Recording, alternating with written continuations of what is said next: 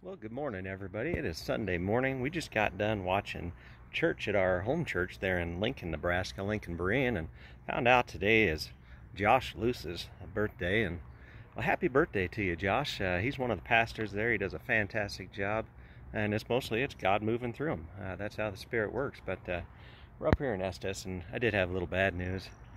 And uh, first of all, all this crazy stuff going on in this world, yeah, there's a there's a lot lot to think about. And for anybody who's suffering and going through some hard times, you know, uh, we feel bad and we pray for you.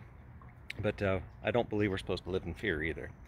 And uh, what happened is um, when we got out here to Colorado, we saw the signs and uh, it made it made us very aware that we were going to have to wear masks. And, and so we did the right thing. And you know, Edna had been doing really good up to that point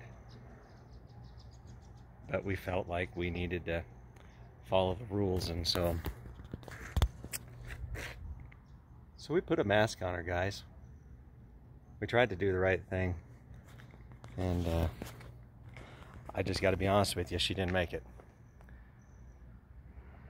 And it's uh, it's been confirmed. Apparently it was COVID. She's been dead for like four years though so I don't know how that worked out but uh, at any rate, uh, you know, our, our purpose here is just to bring smiles and make people happy. And I hope you're all having a really good morning.